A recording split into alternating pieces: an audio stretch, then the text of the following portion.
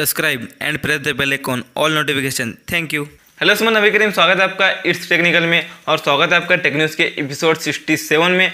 Video में आगे बढ़ने से पहले लाइक कर देना और बिना टाइम वेस्ट करे आगे बढ़ेंगे इस वीडियो में। दोस्तों, अगर हम बात करें पहले अपडेट की, दोस्तों व्हाट्सअप की तरफ़ से खबर आ रही है। दोस्तों बताया जा रहा है कि व्हाट्सअप का जो ऑटोमेटिक डिलीट वाला शेड्यूल बोल के जो आप टाइम सेट करके ऑटोमेटिक डिलीट करते ना व्हाट्सअप मैसेज को, दोस्तों, बताया जा रहा है कि उस फीचर को बहुत ही जल्द व्हाट्सअप ना रोल आउट करने वाला है।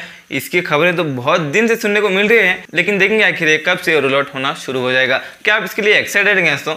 मुझे नीचे कमेंट ज़रूर लिख कर बताई देना। दोस्तों, अगर हम बात करें दूसरे अपडेट की, दोस्तों, ओप्पो की तरफ़ से खबर आ रही है। दोस्तों, ओप्पो ने है ना, आज नया पेटेंट फ़ाइल किया है ये कमाल का पेटेंट है, आप देख सकते हैं, दिखने में ऐसा होगा। दोस्तों, ओप्पो के स्मार्टफ़ोन में साइड पॉपअप सेल्फी कैमरा आपको साइड फिंगरप्रिंट मतलब आपको साइड माउंटेड फिंगरप्रिंट देखने को मिलता था, और साइड वैल्यूम लॉकर्स होते हैं, और पावर बटन होते हैं।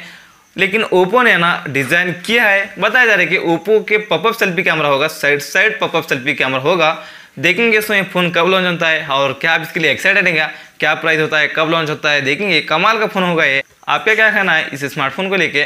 मुझे नीचे कमेंट ज़रूर लिखकर बताई देना। दोस्तों, अगर हम बात करें दूसरे अपडेट की, दोस्तों ऑनर की तरफ़ से खबर आ रही है। दोस्तों, बताया जा रहा है कि ऑनर नाइन एक्स इसके लिए तो बहुत लोग एक्साइटेड थे, आप थे, मैं थे, बहुत बहुत लोग है ना, इसके लिए एक्साइटेड थे। ऑनर नाइन एक्स के लिए और फाइनली इसकी इंडिया की लॉन्च डेट निकल कर आ चुके हैं। कंफर्म हो चुकी है लॉन्च डेट बताया जा रहा है कि 14 जनवरी इसी महीने में 14 तारीख को लॉन्च हो जाएगा ओनर नाइन एक्स और फ्लिपकार्ट पर अवेलेबल होगा लॉन्च होने के दिन।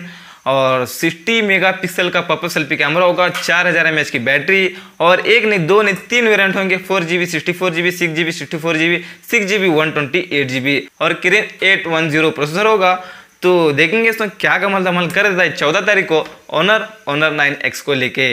दोस्तों, अगर हम बात करें दूसरे अपडेट की, दोस्तों शॉमी की तरफ़ से खबर आ रही है। दोस्तों, बताया जा रहा है कि रेडमी का लैपटॉप आने वाला है। रेडमी बुक बोल के रेडमी का एक लैपटॉप आने वाला है। ऐसा कुछ यहाँ पर बता रहा है। तो देखें इसकी बाकी स्पेसिफिकेशन और कब लॉन्च होता है और इसका प्राइस कितना होगा, कुछ भी लीक होकर आया नहीं।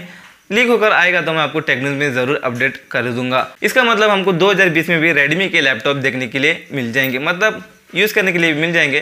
क्या आप इसके लिए एक्साइटेड हैं क्या? रेडमी के लैपटॉप के लिए? मुझे नीचे कमेंट ज़रूर लिख कर बताई देना। दोस्तों, अगर हम बात करें दूसरे अपडेट की, दोस्तों सैमसंग की तरफ़ से खबर आ रही है। दोस्तों सैमसंग के दो स्मार्टफ़ोन कंफर्म हो चुके हैं। दोस्तों Samsung Galaxy Note ten Lite और Samsung Galaxy S ten Lite बताया जा रहा है कि इसी जनवरी के एंड तक ये लॉन्च हो सकते हैं। ऐसा कुछ यहाँ पर बताया जा रहा है। क्या आप इसके लिए एक्साइटेड हैं क्या? दोस्तों Samsung Galaxy S ten Lite के लिए एक्साइटेड है क्या? Samsung Galaxy Note ten Lite के लिए एक्साइटेड है?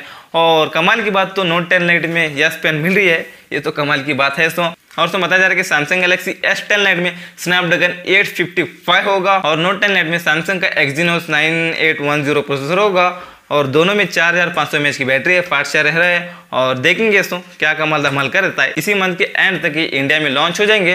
देखेंगे इसकी एग्जैक्ट लॉन्च डेट कितनी होती है। मतलब लॉन्च डेट निकल कर आएगी ना, मैं आपको टेक्निक्स में ज़रूर अपडेट कर दूँगा। आपको डेली की टेक्निक्स देखना है आपको।